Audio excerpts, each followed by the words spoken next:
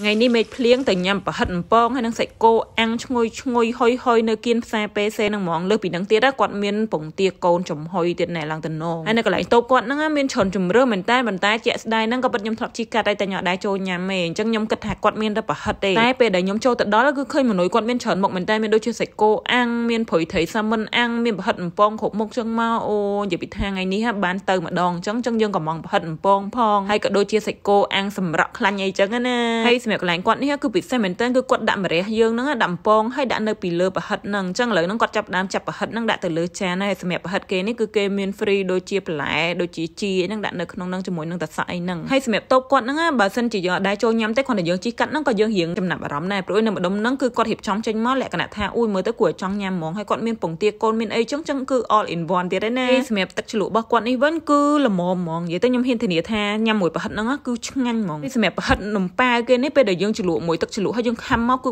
បែកខ្ទិះហ្មងអូគេមាន snow មានអីចឹងមកញ៉ាំមកឡើងចាប់ជាតិគ្នាល្អហ្មងហើយសម្រាប់សាច់គោនេះវិញគឺគាត់ប្រឡាក់ទុកចេះប៉ុន្តែនៅពេលដែលយើងចង់ញ៉ាំមិនគាត់ធ្វើការអាំងភ្លាមភ្លាមហ្មងនេះគាត់ចាប់ដល់កាត់ខ្ជូងវឹបវឹបវឹបវឹបហើយគាត់ដាក់សាច់គោឈីវឈីវឈីវពីលើនោះមកអូឡើងជះក្លិនមកឡើងឈ្ងុយតាក់ទាអារម្មណ៍យើងហ្មងហើយសម្រាប់សាច់គោគាត់នេះគឺយើងអាចកំងបានទៀតគាត់សួរយើងថាចូលចិត្តអាខ្លាញ់ច្រើនមួយក៏អាខ្លាញ់តិចអីចឹងយើងអាចមានជំរឿសទៀតណាហើយមួយវិញទៀតណាយើងអាចកំងគាត់បានទៀតលក្ខណៈថាអូចង់យកឆៅតិចតិចមួយក៏ឆ្អិន100%អីហ្នឹង